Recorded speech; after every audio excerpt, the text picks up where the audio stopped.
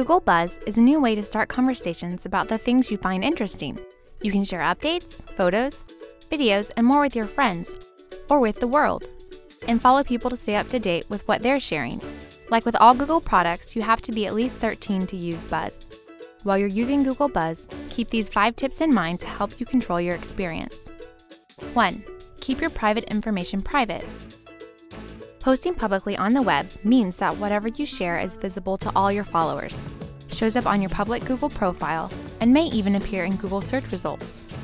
When you share privately, you are sending your original post to a group of people you've already selected. 2. Know who's following you. Buzz sends you a notification after someone starts following you, and you can choose to block them. If you change your mind, you can always go back and block or unblock them later. If you block someone, Google Buzz won't send them a message, so no one has to know. 3. Control your Google profile. Before you can post in Google Buzz, you'll need to set up a public Google profile. You don't need to share anything more than a first and last name on your profile. If you have a photo associated with your Gmail account, you can choose to use this as your profile photo as well. You can always change your photo or remove it if you don't want it to be public on the web. You can also decide whether you want your list of followers to show up publicly on your profile. 4.